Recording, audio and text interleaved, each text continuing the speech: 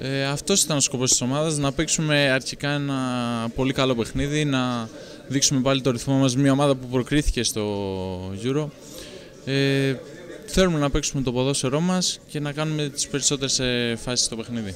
Είναι η ταχύτητα και η μαχητικότητα δύο νέα στοιχεία από τα παιχνίδια τελευταία που βγαίνει σαν σφραγίδα της Εθνικής; Ε, εντάξει, δεν έχουμε την εμπειρία που, που χρειάζεται. Είμαστε όλοι πολύ νεαροί, 98, 97, ακόμα και 96 παιδιά.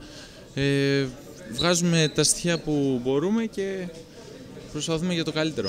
Και το λέω αυτό για την ταχύτητα γιατί ήσασταν σε όλες τις φάσεις, μπαίνατε πρώτοι στην μπάλα. Ακόμα όχι μόνο στα γκολ ή στην επίθεση και στην άμυνα. Πιστεύω ότι φαίνεται ότι το θέλαμε παραπάνω από τον αντίπαλο σε άλλο ένα μάτς και πιστεύω ήμασταν καλύτεροι.